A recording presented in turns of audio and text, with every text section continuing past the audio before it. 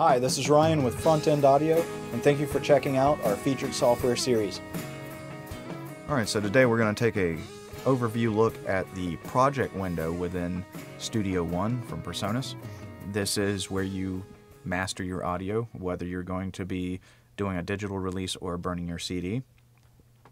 Uh, basically, you can come here and once again, this is the thing about Studio One, everything is accessible, uh, you know, through multiple uh, formats. You can either come through your taskbar at the top and, uh, you know, import files, um, control your transport, you know, access Studio One setup information, access your help menu, uh, adjust your, you know, the different uh, parameters to view and so forth. You have the ability to go and update, um, you know, files if you find out that there is a, a file in your uh, timeline that uh, you forgot to do an automation or a tweak on.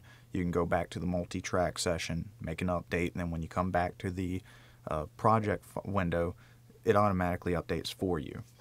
Um, you can burn a disk, you can burn an image, um, you can view uh, your DDP image for duplication houses.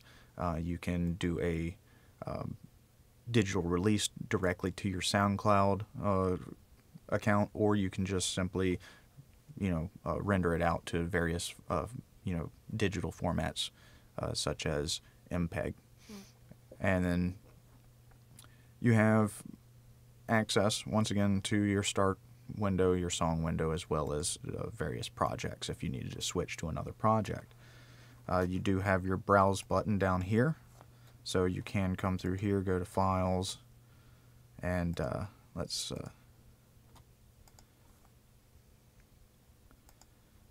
this will allow you to be able to you know access various um,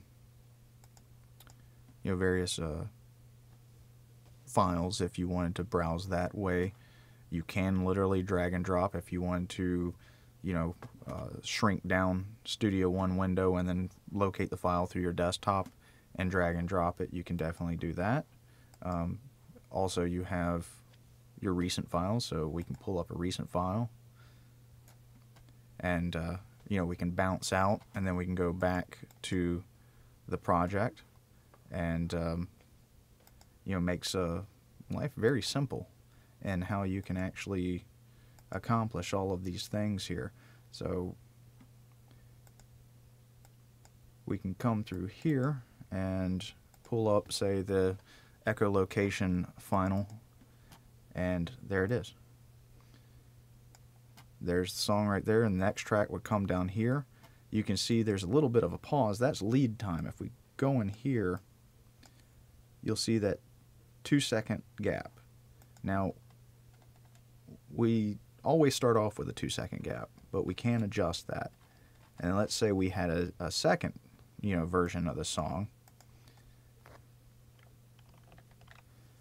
You know, now we can actually adjust this so that we can have a one second gap.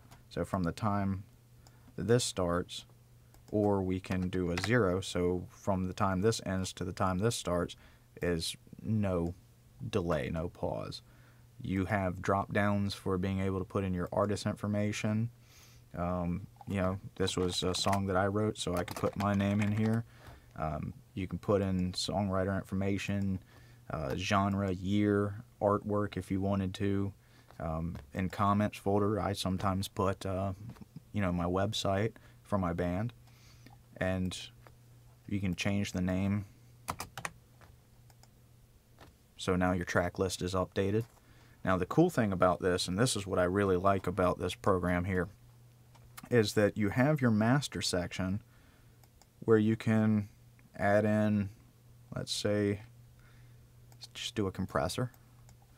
And then we'll do a limiter.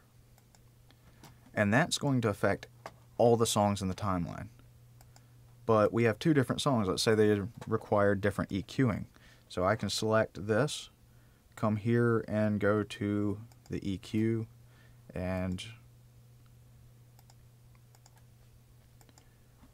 say make that sound like it's in a phone booth. Then I can select this. You see the EQ went away. So I can come here and I can say add a multi-band compressor. I think the way that this second track is uh, is working is great, and um, you know I just want to have a little bit different character. I don't need any EQ, so I'm going to come here and I'm going to pick that. So now, if you come back through here, you can see that the inserts for the individual song changes, and you also have your loudness detection here as well. So you can see all the parameters of your song and know exactly what you're getting. Alright, so if we actually play the file, you can see right here, this is the frequency response of the song. Below that, you have the volume output of the song, as well as your phase meter. And you can adjust your styles of metering as well as adjust your visuals on the frequency uh, analyzer. And if we have it playing, we can actually also just click on this and it jumps right to the next song. So if we had multiple tracks, we could just sit there and click back and forth and it will jump to the beginning of that song that we've selected. And you can hear, you can also just click anywhere in the timeline and be able to bounce back and forth to make sure that the levels match and that everything seems coherent for the release. Uh, you do have further uh, adjustments on each song. As you can see, I've actually reduced the volume simply by clicking the center point and you can adjust that way. So you have basically an individual fader per song as well so that you can then further tweak things as well as your anchor points for your fade in and fade out and then how linearly you want to fade out exponentially, uh, linear, or logarithmic. So it gives you a lot of power as well as being able to, let's say we want to not have the full song, so we're going to come in a little bit, we're going to fade out a lot, and we're going to do it exponentially. Now, one thing I want to show you on that, because there was not a song after that, if we do this, let's say this one we're going to fade out and we're going to do logarithmically and then we're going to cut it down. You can see how the other one follows it. It stays glued there and it stays glued to the fact that I have a zero second pause between the end of that song and the beginning of the other one. So I can double click here and goes right into the next song.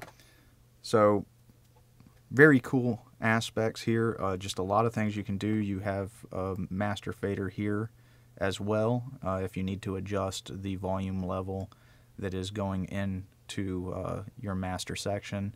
Of course, you probably want to just keep that at zero. And then you also have the individual tracks, so you can adjust the volume of the track itself here as well if you didn't want to tweak it with the uh, center punch there. Um, and then from there, you know, we can go to digital release. We can select which ones we actually want to export. We don't have to export all of them at once. So if we just want to export one song, you know, say we've got our whole CD, everything's good, um, but you know we have one that's finalized. The rest of them we're still working on tweaking with uh, the final uh, or with the uh, individual inserts, and we just want to release that one single. We can come here, release it, tell it where we want it to release to, you know what format we want to release it, what bit rate we want to release it, um, if we want to you know export the metadata with it, and then you know we can hit OK and there we are. We're exporting. It also gives you the ability to export in real time. So that's kind of something I like to do. I like to burn disks in real time and export in real time uh, so that it actually, you know, it's not necessarily just kind of sitting here doing a, a, fast math equation. And then once this uh, finishes rendering out, pops up and it shows you the song and it's good to go. So we now have our MP3 with all my metadata in, you know, embedded into the uh, track, and it opens up the file right there. So if we wanted to immediately upload it to our website, um, we're good. If you wanted to upload it to your SoundCloud, you're good to go. So very cool, very powerful. Um, this has easily become my favorite mastering uh, platform. It's just so easy to accomplish anything you want. Uh, and, you know, Studio One's become the heart of my studio, and uh, it's been a, uh, a pleasure actually getting to know this just because of how easy it is to use and how powerful it is. Um, so, whether you're just making you know demos at home to sell while you're playing local shows, or whether you're trying to make that demo uh, for that record label, or whether you're a commercial studio making a professional record for a label or um, you know just for a client, this does a great job at giving you everything you need. Again, thank you for joining us for our featured software series videos. For more information and for all your pro audio needs, check us out on the web at www.frontendaudio.com. Thank you.